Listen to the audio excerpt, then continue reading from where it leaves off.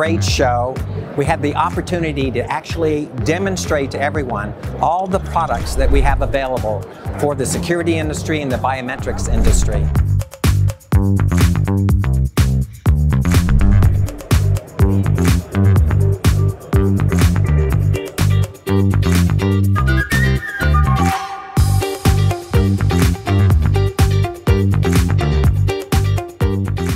Like to welcome you to the Suprema booth for ISC West 2022. And we'd like to share some information with those that couldn't make it, such as the technologies we're displaying at the show, some of the feature sets of our devices, and why Suprema makes a lot of sense as a go-to-market device in multiple applications.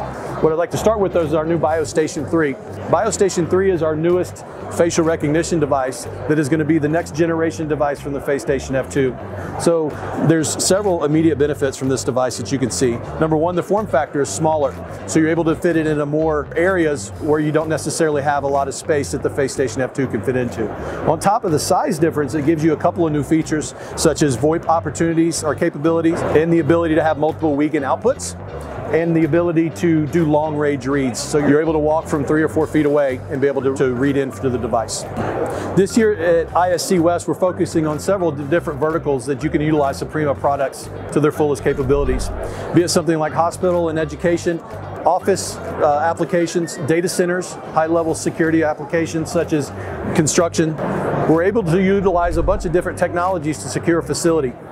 You can also utilize the Face Station F2, for instance, in a fast moving situation where you have to move a lot of people through a turnstile application. You simply walk, and you have a no stop application that you're able to move, move a lot of people through with minimal time, minimal stopping, and able to, to get people to their jobs to be able to do their work. It doesn't have to be any particular vertical that we like to secure. We secure all verticals equally because of the breadth and the depth of the Suprema offering. So whether it's a centralized system utilizing our uh, RFID solutions, or if it's a distributed solution utilizing our biometric readers on the edge, Suprema has the ability to cover all the applications within the access control market.